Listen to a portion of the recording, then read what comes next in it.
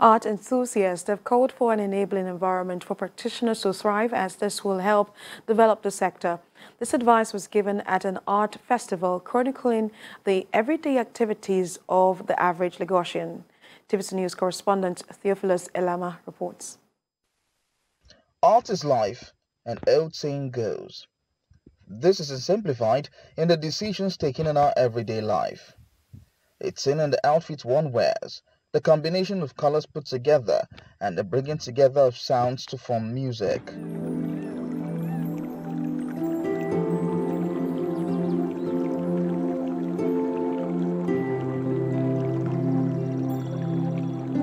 expressed at this art exhibition titled Life in My City. The festival brings together art enthusiasts from all walks of life to come appreciate the virtues of every artwork on display.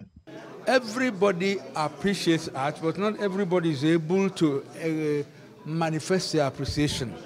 If you didn't appreciate art, you wouldn't choose the color of shirt you are wearing. You wouldn't uh, do your hair in a particular way.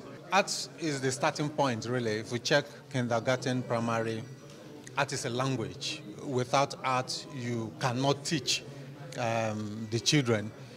But of course, we have a, a major problem in, in, Nigeria as a whole, uh, where we don't have enough art teachers in secondary school and primary school.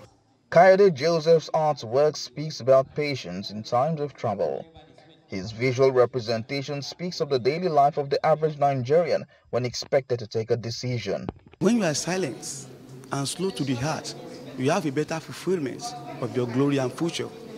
Therefore, the star, cowries, bees, and butterfly display in the painting represents the future and the glory in the work. What gave me this impression was my personal experience. I'm this kind of person that, let me say, pressure from my environment really affects me a lot. My friend is doing this, I want to do this.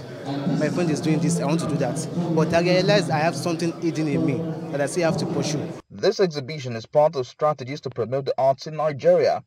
After the COVID-19 pandemic, many exhibitions just couldn't continue because of the economic realities. Many are of the opinion that policies can be put in place to ensure the arts thrives. Theophilus Ilama, TVC News, Lagos.